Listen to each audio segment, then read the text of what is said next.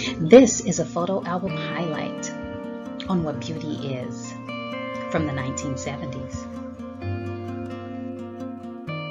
This is Jean. My mom told me Jean was a close friend of hers. I never actually met her in my lifetime, um, but I used to stare at this picture all of the time. This picture is like the epitome to me of cool, poised, and confident. This is a black woman at ease. She is thoughtful.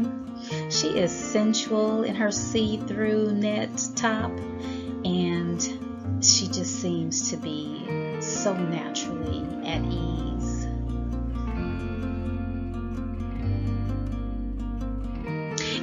In this picture, Jean shows me what it is to represent culturally.